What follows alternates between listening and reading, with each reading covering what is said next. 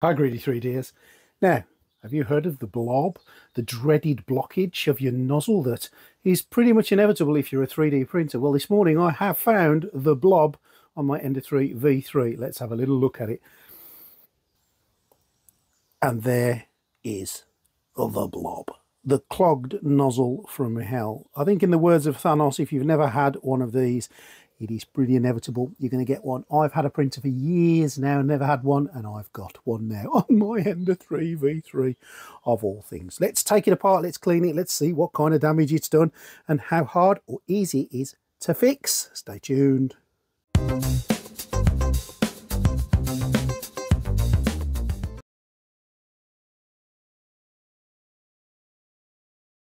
So the first thing to do, or more importantly, the first thing not to do is panic don't grab something really, really sharp like a pair of pliers or a cutter and just start yanking and pulling like mad at your blob. You'll destroy your printer. You'll destroy your printer head. You'll throw things out of alignment. You'll get frustrated with it. Don't do it. Take a deep breath, step back, and we'll talk you through the process of getting it off. Now, you have to resign to the fact that there may be a consideration here to buying a new hot end. We'll try to fix it, we'll try to get it all repaired, we'll try to remove the blob as best we can, but there may be damage inside because you don't know where that blob has gone until we start to play with it and take it apart. So let me show you how to clean it all off and see what you're looking for and see just what to do and what not to do. Now you may be really, really lucky and just grab it with your fingers and give it a little bit of a tug and it pops off. The chance of that happening is slim, but it's always worth trying. As you can see on mine, the uh, the blob is pretty huge. And what I didn't know at this stage was it actually blobbed all the way inside as well. So you can't always tell the extent of the damage at this stage. So what I'm going to do now is heat my hot end up. Just touch the figure there, the number figure. Type in what you want it to be. I'm putting 250, which is well over PLA temperature. If you're using a different material, you may need to put it higher and the hot end will heat up. Now, don't be surprised if it does this and starts to smoke. This is not beyond the realms of what could happen. You've got to remember, you don't know how far this has gone inside. It could be touching directly the hot end. And all I'm doing now is I'm taking a pair of uh, these sharp edged pliers here, these calipers, cutters, and I'm gently, and I mean gently, just prizing, just pulling and just seeing if I can get anything off with the heat now going into the hot end. If you're really lucky, it will come off at this stage, but for me, Unfortunately, this just wasn't doing the trick at all. It was still absolutely rock solid. So I thought, let's take the front cover off. And there's two Allen keys either side of the front cover on these Ender 3 V3s. Uh, your printer may be different, but the principle is the same. Take the cover off, and for me, couldn't get the cover off. It was absolutely welded on with plastic. Again, not too surprised, but definitely worth a go.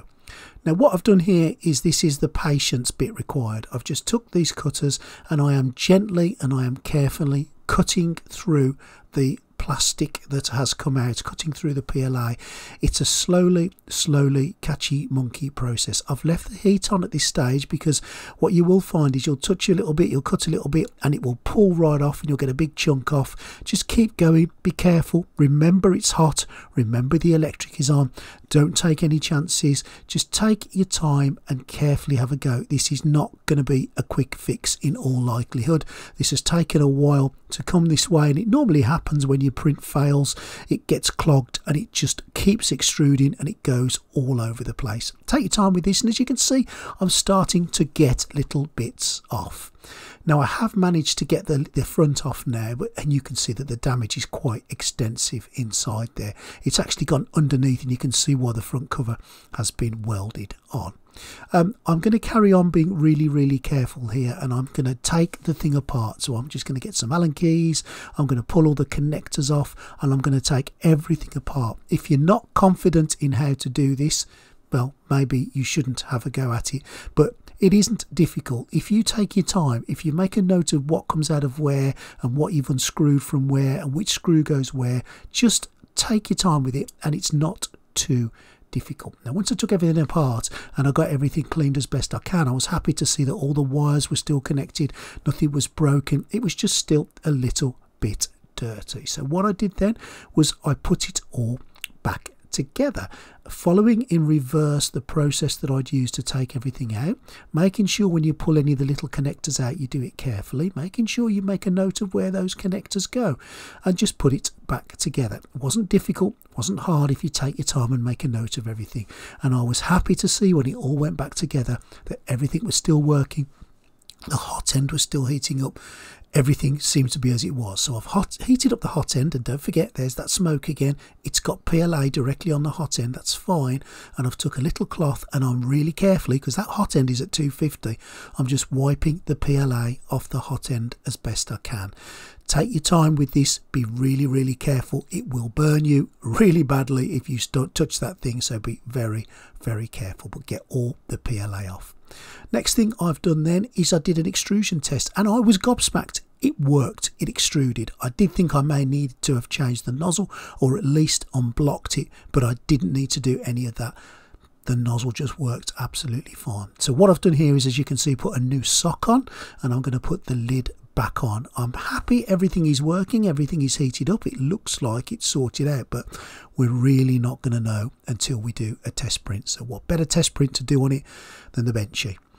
So just to reiterate really, just to talk about this, take your time, heat it up, pull the bits off slowly, take the front off, take it apart as best you can, pull the bits off carefully. If the wires are damaged, if the internal bits are damaged, you're going to need to replace it. But if you can get away with just cleaning it out carefully, and it took me ages to get the little bits of the PLA off the wiring and off the edges and off the intricate bits and off some of the connectors. But once I'd done that, and it took me about an hour to just carefully go through it, I'm now left back with my Ender 3 V3 with a hot end that's fully functional everything seems to be working fine. Just took a little bit of patience, just took a little bit of care, and the important thing don't panic. Stay calm, have a cup of coffee, chill out, and have a crack at it. And there is the Benchy. And I'm happy to say that the Benchy is printed absolutely perfectly. So I've got now a fully working Ender 3 machine. I've avoided and fixed and defeated the blob. Now, I always maintain that I am no expert in 3D printing. What I've learned is the things that I've used and the experience that I've got as I've gone through the 3D printing journey. But what I have found is if you take a little bit of time and you take a little bit of care and you just, you know, have a look at YouTube, look at a few videos of other people that have gone through it, just read a few uh, bits on the old Tinterweb, it will have the answers that you're looking for. It just takes a little bit of time to find it. Patience is the key with 3D printers. And if you've got no patience, if you don't like tinkering, if you don't like fiddling, mm, maybe this hobby is not for you. So I hope you found that useful today. I hope it's given you a little bit of an insight and confidence of what to do should the blob attack you. If you like what you see today, please, please help out and subscribe to the channel. That really would be appreciated. All those subscriptions really, really help to promote the channel. If you want to join the Greedy 3D Patreon, you can. We, we, we welcome you and it won't cost you a penny if you want to join or if you want to just donate a few quid each month just to support the channel, then, um, you know, thank you. It would be most appreciated. If you want to buy anything that you see today, you want to buy some bits and pieces, there's an affiliate link down below. And that also helps the channel because a little bit will kick back to us and just allow us to carry on doing these things for you. Just as a disclaimer here, if you're going to take your printer apart, if you're going to mess with it while it's on, if you're going to have wires exposed, you do so at your own risk. I take my own risk when I do that. And me showing you how I do it doesn't necessarily mean it's how you do it.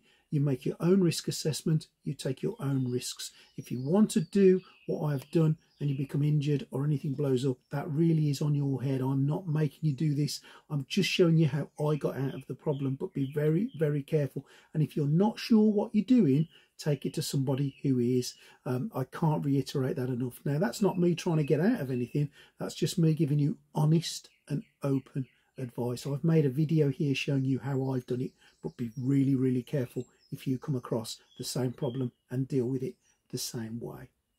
Hope you've enjoyed today. See you next time real, real soon on Greedy 3D.